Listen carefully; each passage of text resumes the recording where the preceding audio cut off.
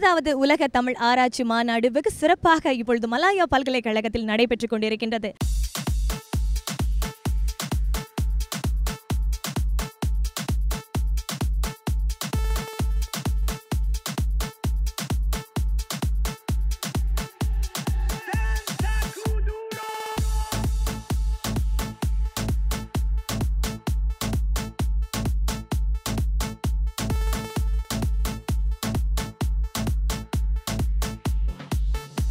இன்றைக்கு காலையில் நம்முடைய மாண்புமிகு பிரதமர் நஜிப் துன் ரசாக் அவர்கள் அதிகாரப்பூர்வமாக இந்த மாநாட்டை திறந்து வைத்தார் உரையாற்றினார்.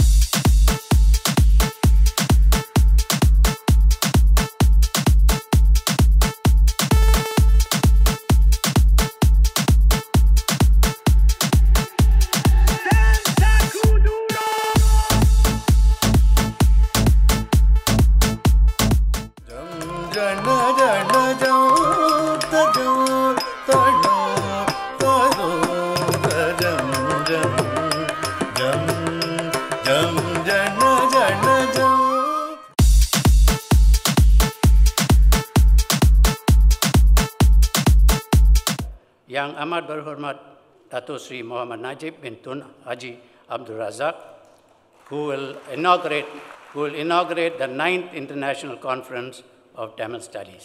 இந்த மாநாடு நடைபெறக்கூடிய அவ்வளவு செலவையும் நம்முடைய அரசு ஏற்றது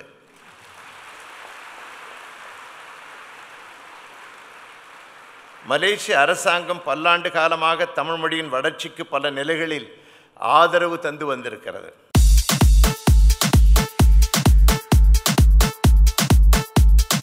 Tirukural has been translated into many languages, including into our own national language, Bahasa Melayu by the late Professor Emeritus Tan Sri Ismail Hussein.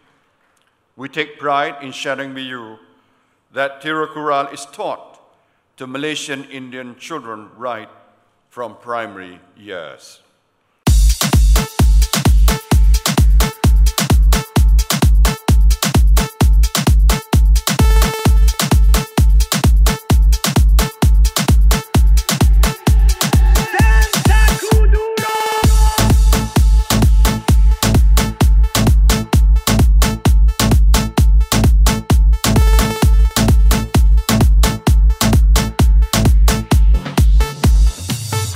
உலகமெங்கும் திருக்குறள் பல மொழிகளில் மொழிபெயர்ப்பு செய்யப்பட்டு வருகின்றது.